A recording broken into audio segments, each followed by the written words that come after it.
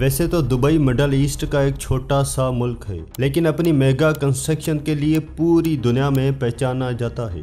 पर इस बार दुबई दुनिया को हैरान करने के लिए एक ऐसे प्रोजेक्ट पर काम कर रहा है, जो हमेशा के लिए कंस्ट्रक्शन के कॉन्सेप्ट को ही बदल कर रख देगा।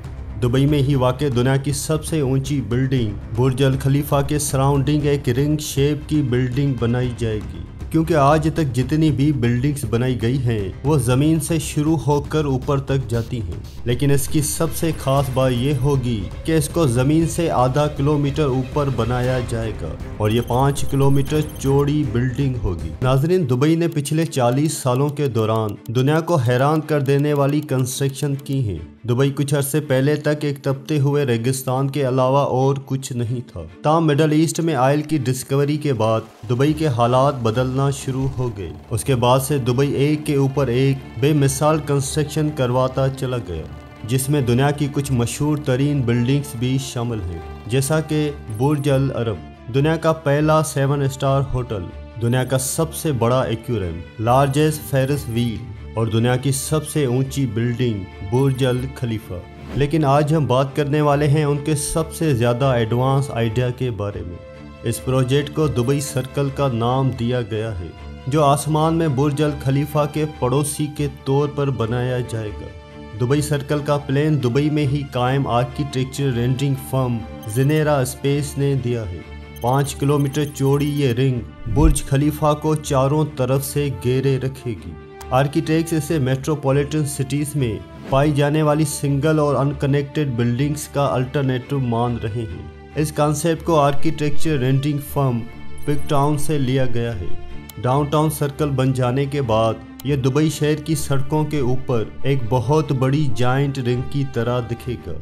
इस रिंग को कई किलोमीटर दूर से ही पहचाना जा सकेगा। और ये पाँच किलोमीटर के रेडियस में आने वाली दुबई की तमाम टाउन्स को अपने अंदर समाये रखेगा। ज़मीन से 550 मीटर बुलंदी पर बनाया जाने वाला ये वन वर्ल्ड ट्रेड सेंटर से भी ऊँचा होगा। पैसेंजर सर्कल के एक एंड से दूसरे एंड तक का सफ़र एक खास किस्म के पोर्ट्स के ज़रिए कर सकेंगे। जबकि बिल्डिंग के इंटीरियर में ऑफ़िस हाउसिंग एरियाज़ और कल्चरल एरियाज़ बनाई जाएँगी। तमाम एरियाज़ को रिंग के दो अलग अलग हिस्सों में तरतीब दिया जाएगा। इसके अलावा स्काई पार्क नामी एक ग्रीन बेल्ट पूरे रिंग को कवर करेगा। स्काई पार्क के अंदर रेजिडेंट्स मुख्तलिफ़ कुदरती माहौल का तजुर्बा भी कर सकेंगे, जैसे वादियाँ, रेतीले टीलों और मुख्तलिफ़ किस्म के प्लांट्स वगैरह। पूरे स्ट्रक्चर को पाँच बड़े पिलर्स पर खड़ा किया जाएगा। जिनेरा स्पेस ने इसको इस तरह से डिज़ाइन किया है कि ये पिलर सिर्फ़ कंक्रीट के स्ट्रक्चर होने के अलावा इसमें स्मोक फ़िल्टर डिज़ाइन का इस्तेमाल भी किया जाएगा, जो एयर फ़िल्टर के तौर पर काम करेंगे। आर्किटेक्चर्स चाहते हैं कि इन पिलर्स की मदद से दुबई डाउनटाउन के अंदर एक माइक्रो क्लाइमेट इनवेलिप्ड क्रिएट किया जाए, जो तपते हुए रेगिस्तान में भी शहर को ठंडा रख सके। तो फिर ये दुबई सर्कल बन भी पाएगा या सिर्फ़ प्रोपोजल तक ही महदूद रह जाएगा? एक्सपर्ट्स का ख्याल है कि इतने कम सपोर्ट में अगर इस बिल्डिंग को इतना ऊँचा बनाया गया तो इसको काफ़ी मुश्किल का सामना भी करना पड़ सकता है। जबकि ज़्यादातर एक्सपर्ट्स का कहना है कि इस तस्वर को अमली जामा पहनाना मुस्तबिल करीब में तो होता हुआ दिखाई नहीं देता। ताम, ये दुबई के लिए तजवीज़ करदा कोई पहला अजनबी आइडिया नहीं है। हालाँकि चाँद के शेप जैसे रिज़र्व बनाने की तजवीज़ पहले ही सोशल मीडिया पर गर्दिश कर रही है। प्लानर्स ने पहले ही मून रिजोर्स बनाने के लिए दुबई पर्ल को आइडियल लोकेशन के तौर पर आइडेंटिफाई किया है। अगर दुबई सर्कल वाकई तस्वराती मरहलों से आगे बढ़ता है तो पहले से ही मौजूद इसी तरह के हवा से बातें करते सर्कुलर शेप के स्ट्रक्चर से कुछ इंस्पायरेशन ली जा सकती है।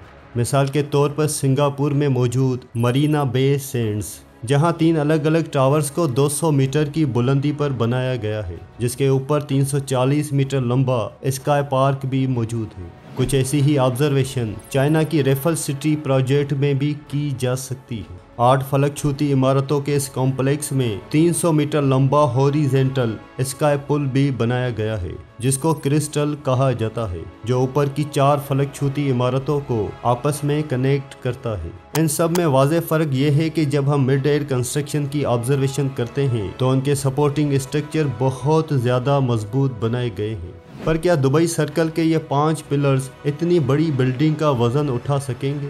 दरअसल इन पाँच पिलर्स पर खड़े रहने के लिए दुबई सर्कल को बहुत ही लाइट वेट बनाया जाएगा।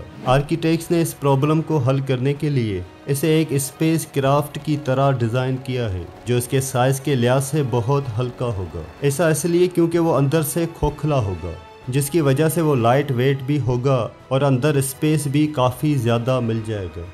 पर जब हम सिर्फ़ शेप के लिहाज से दुबई सर्कल के प्रोजेक्ट को देखते हैं तो उस जैसी दूसरी बिल्डिंग है एप्पल पार्क। इसके सर्कुलर डिज़ाइन की वजह से इसे स्पेस शिप का नाम दिया गया है और ये दुबई सर्कल के लिए तजवीज़ करदा बहुत से फीचर से मैच करता है। ताहम एप्पल पार्क दुबई सर्कल के मुकाबले में सिर्फ़ आधा है। इसके अलावा एप्पल पार्क ज़मीन पर बनाया गया है, जबकि दुबई सर्कल को ज़मीन से आधा किलोमीटर ऊपर बनाया जाएगा। हालाँकि ऐसी काफ़ी सारी बिल्डिंग्स मौजूद हैं, जो दुबई सर्कल जैसे स्ट्रक्चर के लिए इंस्पायरेशन का काम कर सकती हैं। लेकिन फिर भी इस तस्वर को हकीकत में बदलने के लिए इंजीनियर्स को वाज तौर पर चैलेंजेस का सामना करना पड़ेगा। आपके ख्याल में ये फ्यूचर की तरफ़ एक और कदम होगा, या फिर ये वक्त से पहले के ख्याल दिखाई देते हैं। कमेंट में हमसे अपने ख्याल ज़रूर शेयर करें। तो फिर मिलते हैं अगली किसी एक्साइटिंग वीडियो में।